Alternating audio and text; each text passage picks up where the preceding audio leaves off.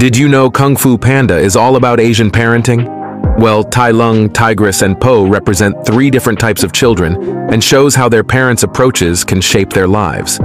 Tai Lung was the golden boy who felt immense pressure to fulfill his parents' expectations, while Tigress was the dark horse who was always compared to her talented siblings. Po was the wild card who has zero visible talents and is treated like garbage by Master. He is that type of kid who struggled with traditional subjects like math and science, but found success when given the opportunity to explore his own path. The movie's message is clear that parents should nurture their children with love and care, allowing them to find their own unique path in life.